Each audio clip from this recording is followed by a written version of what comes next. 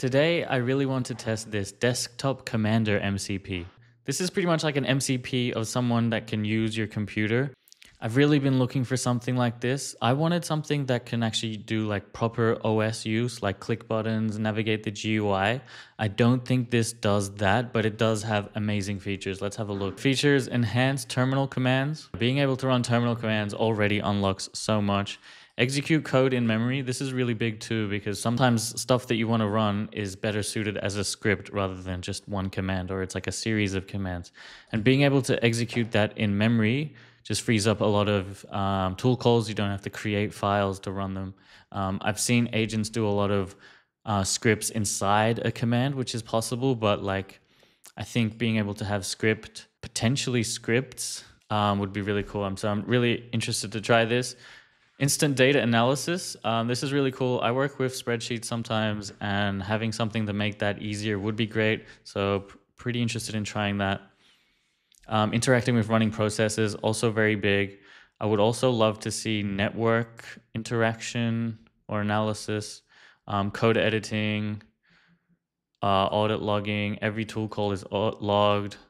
Like it just seems really robust. Um, it has over 4,000 stars, and the devs seem to be pretty respected as well. So we're going to give this a go.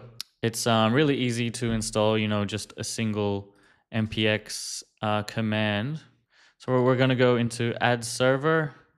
We'll call this desktop commander. I should do JSON import. At the moment, we have to uh, manually copy paste this, but that should work. Let's add server and it will take a little while to initialize, I think, but once it does, this should go green. There we go, 21 tools for desktop commander. Um, amazing. I'm gonna turn off uh, Notion and GitHub just so we can test desktop commander.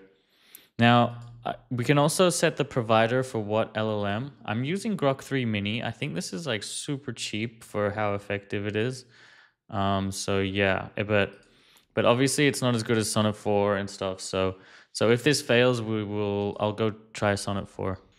Can you find the folder called expenses on my desktop and then look at the CSVs inside of it and give me a summary? Okay, it has blocked commands. So this is like all the shit it can't do. sudo add user. Okay. Checking for expenses on desktop. It has trouble with the username. So that's, I mean, we could solve this with a system prompt, but it always like recovers um, afterwards.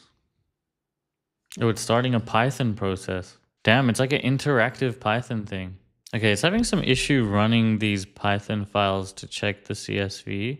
I was wondering if it had its own specific like CSV tool calls. That's kind of what I assumed from the GitHub. Doesn't look like any CSV specific uh, tool calls. Has issues importing NumPy. All the Python haters are getting justified here. But it's pretty cool how it can interact with uh, various processes by ID.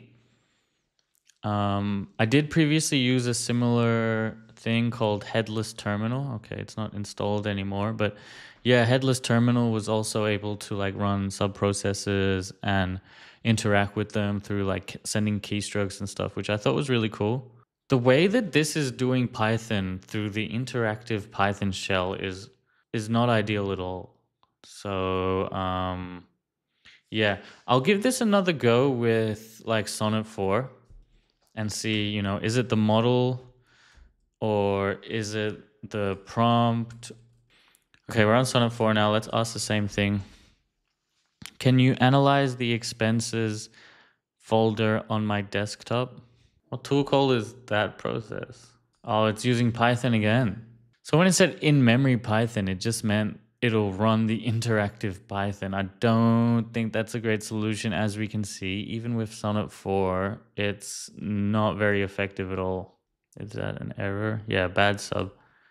Okay, so not the greatest outcome with Desktop Commander. I think I might give this one a pass in its current state. I like the simplicity of headless terminal. I think you can do a lot with just terminal, so That's probably the one I would prefer. Gonna uninstall this right here.